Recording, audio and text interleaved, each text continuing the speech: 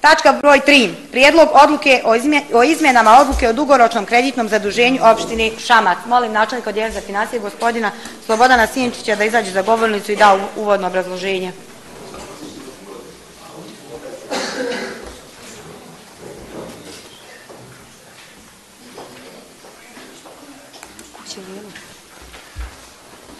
Poštovano radno predsjedništvo, dame i gospodo odbornici, uvaženi gosti, prije svega želim da vas pozdravim i da pokušam ovu tačku da, da vam malo obrazložim, pošto ste vi o njoj slušali na prethodnim sjednicama Skupštine, pogotovo na prošloj kad smo donosili odluku o prijevremenom otkupu obveznica, e, imali ste osnovnu odluku o kreditnom zaduženju, koja nakon e, provedenog postupka izbora najpovoljnije banke, odnosno najpovoljnijeg ponuđača, sada kad smo saznali uslove i proširili obuhvat obveznica sa IRB-a na sve vlasnike obveznica, došli smo u poziciju da se ova odluka mora i treba da, da izmijeni. U obrazloženju ovdje navedeno šta se, šta se mijenja, mi smo okvirno, znači 5,5 miliona kreditnog zaduženja se ništa ne mijenja. Struktura se tu ovaj nešto promijenila zbog toga što smo proširili na sve vlasnike obveznica taj prijevremeni otkup, tako da umjesto 4 miliona i 600 hiljada potrebnih za izmirenje svih obaveza po osnovu obveznica, sada treba da stoji 4 miliona i 900, a umjesto 900.000 za one kapitalne rasode što smo ih tamo naveli u prvobitnoj odluci, sada treba da stoji 600.000. I briše se jedna kapitalna investicija koja se odnosi na, na javnu rasvjetu od 300.000 i time se taj dio u toj tač, tački završava. Uslovi se bitno mijenjaju, Znači, za 5 miliona koji idu iz plasmana IRB-a, značajno se mijenjaju uslovi kada je u pitanju kamatna stopa koja je ponuđena trenutno od 4,4%, što je mnogo, mnogo i neuporedivo povoljnije od 5,7%. Sve ostalo se u tom dijelu plasmana sredstava iz IRB-a ne mijenja. 500.000 maraka koji ne idu iz plasmana IRB-a, nego idu iz plasmana iz e, komercijalne banke, ostaju kao u prvobitno donesenoj odluci. Znači, isti rok, samo je 5,7% kamata umjesto 4,4%, tako da se taj dio bitno ne mijenja. Ja se nadam da će ova tačka trajati kraće. Ja ću se povući, pa da je, tu sam ako treba... E, dobro, evo, načelnik sugeriše, mi smo inače i rekli, to se vidi iz rebalansa, da mi 5,5 miliona budžet, e, kreditni sestava nemamo namjeru ove godine da kompletno povučemo, nego 4 miliona i 900 hiljada, zbog toga što nismo u mogućnosti da ovoj godini plasiramo ta sredstva u ono što je predviđeno odlukom, a 600 hiljada će znači biti povučeno negdje krajem prvog kvartala iduće godine. Evo, hvala. Hvala, gospodinu Sjenčiću. Otvaram diskusiju. Gospodin Vedran Đurđević, izvolite, uvaženi odbornik. I ja neću dugo, a volio bi ovaj da ova tačka dnevnog reda i ne traje toliko dugo, pošto uvijek mene poklope kad se prvi javim, pa onda nemam pravo više ni da repliciram, nije ni bitno. Mene sam interesuje zašto je vama trebalo vi 300.000 što vam sad ne treba. Jer mi smo imali ovdje da se za kapitalne projekte predviđa iznos od 900.000, pa sad kad nam više ne treba, treba nam malo više za otkup obveznica, sad nam i ne treba 900.000, sad nam treba 600.000. Žalosno je reći, ali bi bilo korektnije da ste vi donijeli novu odluku o kreditnom zaduženju za ta iznos obveznica kod fizičkih i pravnih lica koje ste naknadno mislili otkupiti. Jer vi kad pogledate u kakvom mi gradu živimo, da u svakoj ulici, ja sam imao nesreću da prođem ulicu Nikolom, Nikole Tesle i Njegoševom ulicom, da otri tri bandere jedva jedna radi. Vi ste doveli do toga da uži centar grada, pa i širi centar grada, nema uopšte javne rasvete. Neću sada reći kolike je to uštede izazvalo ili nije izazvalo. Međutim, vi ste bili predvidili odlukom o kreditnom zaduženju za kapitalne projekte 300.000 maraka za javnu rasvjetu koje ste sad povukli, sad rekli sad nam to toliko i ne treba. A ja ću vas pitat zašto niste prebacili malo para s onog izletišta famoznog zato što ste čitali jednu kulturu življenja šamačkog stanovništva ubili time što ste isplanirali da porušite vikendice koje su stari šamčani tu radili, zidali i odlučili ste da na tom mjestu napravite neke bungalove pa će svijet mora da plaća i kad hoće da roštilja, a bit će nam otvoren jedan lijep restoran, pa me interesuje samo kome je u interesu da se sruši ono što je neko napravio rizikujući da prva sljedeća poplava to odnese, a da se kreditno zadužujemo za nešto da bi, što bi se napravilo, a možda prvu poplavu, ne daj Bože, do nje da dođe, neće izdržati. Dakle, poenta, 300.000 maraka predviđat za nešto, pa za mjesec dana reći sad mi toliko i ne treba prebaću za nešto drugo. I pritom ostavi tuži centar grada bez javne rasvjete, poči, napravili ste to da šamac sve više počne ličiti izrazito nerazvijenim opštinama u ovoj republici, neću ih nabraja da se ne bi neko osjetio prozvan i uvrijeđen, međutim sramota je da u 21. vijeku mi budemo u mraku, a da te prebac, pare prebacujete za neke namjene za koje ste mogli predvidjeti i neke druge pozicije, pa kad se budete zaduživali, da malo zažmirite kome treba učiniti, kome ne treba učiniti, već da malo razmišljate o stanovništvu opštine Šamac. Hvala lijepo. Hvala gospodine Đurđević. Ima li još? Slobodan Sjenčić. Odgovor na pitanje. Molim vas izdajte za govorit Odgovor na pitanje gospodina odbornika Medrana Đurđevića.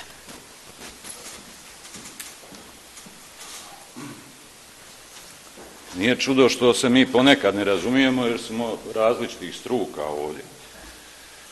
E, kad, se, kad smo se odlučivali da se kreditno zadužimo, bila je namjera da se riješimo nesretnog kredita po osnovu emisije obveznica. Rekli smo nekoliko puta da nismo imali saglasnost svih vlasnika obveznica, nego samo IRBA i onda smo razgovarali o o dijelu kredita u tom iznosu od 4 miliona i 6. Zašto sad mi ne, ne pričamo istim jezikom? Zašto 5,5 miliona? Od koje pretpostavke smo mi pošli? Pa od pretpostavke koliko možemo finansijski podnijeti mjesečno ili godišnje rata ili otplata kredita. I rekli smo da 50.000 maraka mjesečno možemo nositi bez nekih posebnih poteškoća. I odatle se pošlo. Pa se došlo do iznosa od 5,5 miliona na, na 12 godina. Nije tačno da nama ne trebaju ta sredstva. Nama treba još 10 miliona za kapitalne projekte o kojima ste vi govorili. Imamo mi u što uložiti. Možda nam treba i više. Ali ne možemo taj dug nositi. Ovo je, ovi sada 600.000, to je, to je toliko mizerno da, da, da ne vrijedi mnogo o tome pričati. Ali eto, sa tih 600.000 može se nešto, ponešto uraditi. Vi donosite odluku šta će se od tih 600.000 uraditi i to je, to je na vama. Zašto javna rasvjeta? Tih 300.000 je bilo predviđeno za led rasvjetu taj projekat još uvijek nije jasan u ovom trenutku i zbog toga smo odustali od tog projekta. Znači, svi elementi nam nisu poznati, pokušavamo da nađemo donatora i tako dalje obzirom da je to malo maglovito, odustajemo od toga da se završi sve ostalo što je prvobitnom odlukom doneseno. I to je jedina logika koje smo se mi držali. Ne vidim šta je, šta je tu loše. Izbor kapitalnih projekata.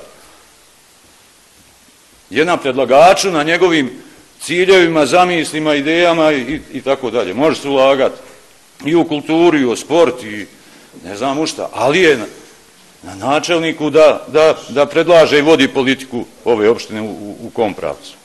Evo toliko. Hvala gospodinu Sjenčiću. Replika Vedran Đurđević.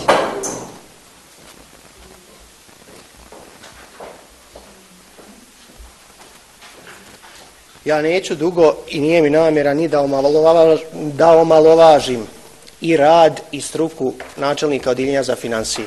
Međutim, ne volim kad neko vrijeđa moju logiku time što kaže nisi ti od te struke. Kad ste pravili plan, šta biste trebali uraditi 4 miliona 600 hiljada? Pravili ste plan i šta biste trebali uvratiti s 300 hiljada javne rasvjete i sa ovih 600 hiljada ostalih kapitalnih projekata.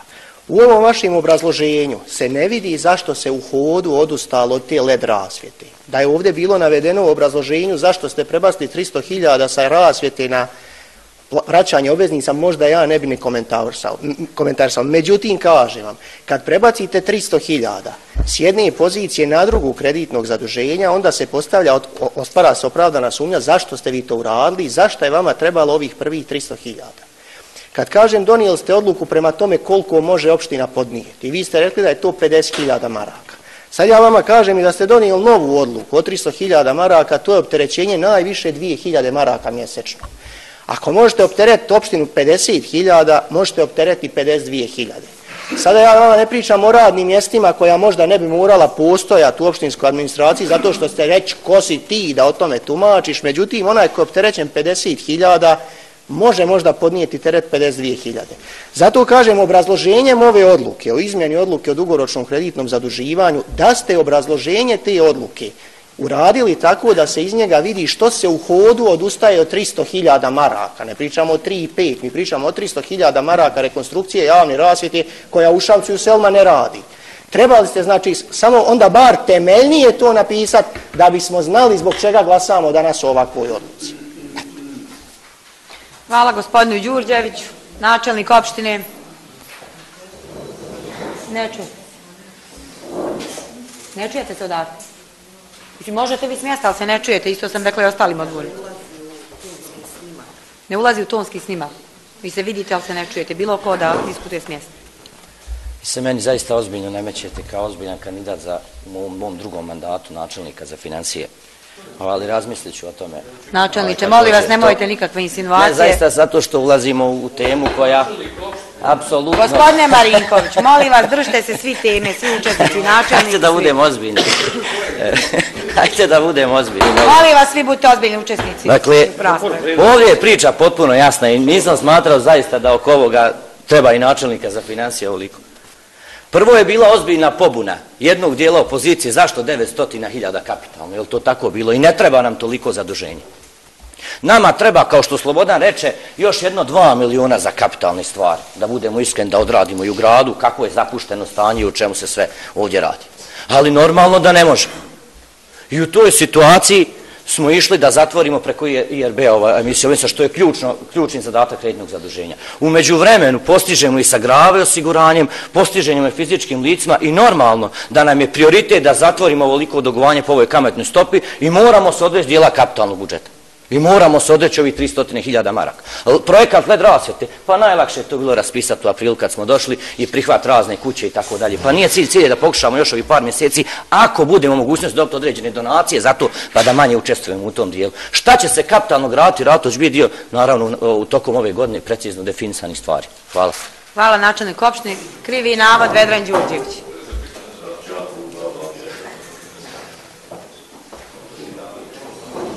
Krivi navod se tiče insinuacija i pretpostavki o nekoj famoznoj, kako to načelnik opštine voli reći, nekoj konferenciji jednog dijela opozicije. Obzirom da je to provejavalo od prošle skupštine kad je načelnik nakon izlaganja koje sam ja imao pred novinarima, obzirom da Predrag Marinković nije bio tu, već počeo naš nastup u skupštini tumač nekim stranačkim previranjima, o čem smo smatrali da nema uopšte potrebe da se izjašnjavamo, treba da razjasnimo nešto. Predsjednice, kad god vam se priča o nečemu što će se desiti, ukoliko nije dnevni red Skupštine, treba da prekinete. Drugo, meni je drago da je načelnik opštine ovako nastupio i rekao kako se njemu neko nameće kao oponent o čemu će on odlučiti. Ono što treba da znate, ja ću to vama sad reći, više neću ponavljati. To da neko bude načelnik opštine, odbornik ili bilo šta što se bira, da li bira narod, pa neću reći da li neko i postavlja. To ne govori o njegovom obrazovanju, njegovoj ljepoti, njegovom, njegovoj duhovitošći, njegovoj načitanosti, neću uopšte da govorim o čemu. To samo govori, to samo govori da je on imao u trenutku izbora 50% glasova plus 1. Ono što vi treba da kažete, to je dezavuisanje bilo kogo članova opozicije, da načelnik opštine ima pravo da izađe kad god hoće i da nešto što se uopšte ne tiče dnevnog reda Skupštine prebaci na teren onog što se dešava posle Skupštine. Prozivat mene, Predraga Marinkovića, Milana Simća ili bilo kojeg diskutanta iz redova opozicije i tumačit bilo šta što mi ovde iznesemo kao neko političko nadigravanje ili mjerenje veličine unutar naše stranke, to nije dnevni red Skupštine. I nije bitno što on nije odbornik, on je načelnik, ali on treba da se drži dnevnog reda i onoga o čemu on izlaže. Dakle, kad ja ustanim i kažem da, opšt, da Skupština opštini, kad raspravlja odluci o izmjeni odluke o dugoročnom kreditnom zaduživanju, možda ne bi ni imala diskusiju po toj tački da je obrazloženje te tačke malo ljepše napisano. Zadnje što treba neko da uradi, kaže, joj, vidite, vi imate konferenciju, pa je neko izašao da bude... Navod, molim vas. Nisam ispravio dok ne završim, jer ja, ja vama govorim treći put od kako je počela današnja skupština. Vama ustaju predstavnici sadašnje pozicije i govore o stranačkim izborima u jednoj od opozicijonih stranaka koji će tek biti održani. Svaki put, kad to radi gospodin Velimir Andrić, kad to radi gospodin Đorđe Milićević, vi nikagujete i kažete, izvinite što vas moram prekin, držite se teme dnevnog reda. Zato vas molim, imamo još 20 tačaka dnevnog reda. Nemojte više da pričamo o izborima unutar Saveza nezavisnih socijaldemokrata. Niko nije pričao ni izbornoj konferenciji Narodnog demokratskog pokreta koja je izabrana u petak. I zašto svi moraju slušati načelnika jer je on predsjednik ili zašto neko drugi nije predsjednik pa da njega moraju slušati. Dajte, molim vas, ja vas molim. E, Držite se dnevnog reda. Kad neko izađe iz tačke dnevnog reda, uzmite i prekinte ga zato što imate čekić i vi prekidate skupštinu i kažete povreda poslovnika, e, povreda hvala, gospodine Đurđević, vrati se sad. Hvala vam. E, molim vas, potpredsjedniče, tišina. Molim, molim potpredsjednika skupštine i sve odbornike i sve članove kabineta. Dva, tri puta sam u toku ove sjednice napomenula da se svi držite tačke dnevnog reda.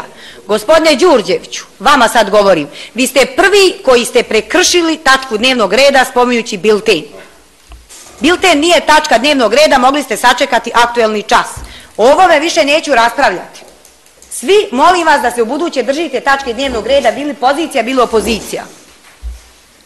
I eto, sa, sa, sa mjesta predsjednice i skupštine opštine, zamoljavam sve da više ne spominju tu skupštinu Saveza nezavisnih socijaldemokrata dok se ne završi. Izvinjavam se.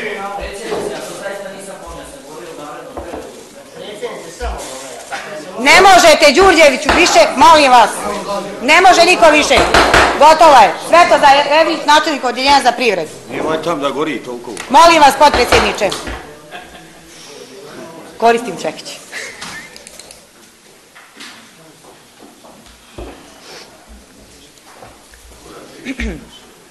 Molim vas samo da se držite tačke dnevnog reda. Naravno, tačka dnevnog reda je izmjena odluke o dugoročnom kreditnom zaduženju pozicija od 900.000 na 600.000 ni jednom rečenicom ne spominje se naziv ni jednog projekta.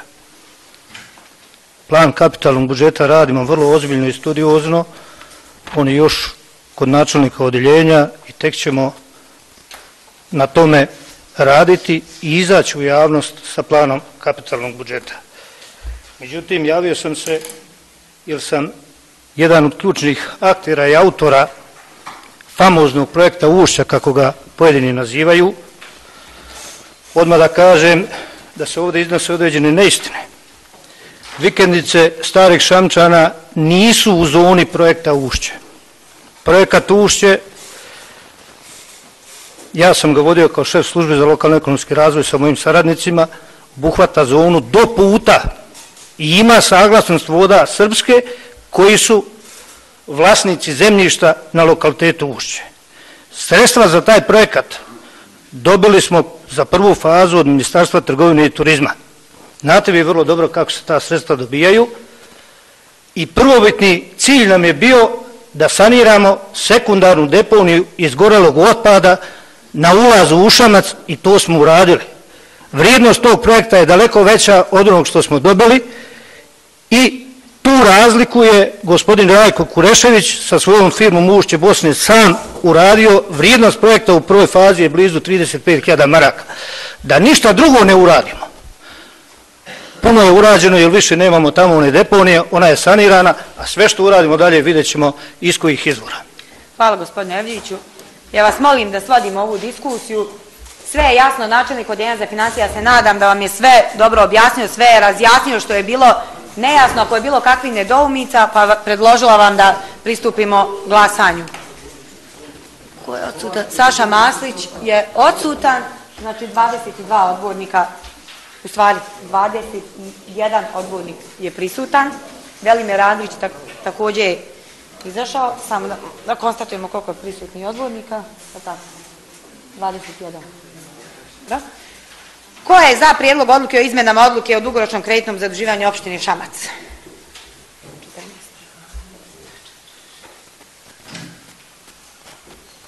Znači, 14. Dobro, hvala. Protiv? Saša Masu se vratio, znači prisutna 22 odbornika, 6, uzdržanih 2. Sa 14 za, 6 protiv i 2 uzdržana konstatujemo da je prihvaćen prijedlog odluke o izmenama odluke dugo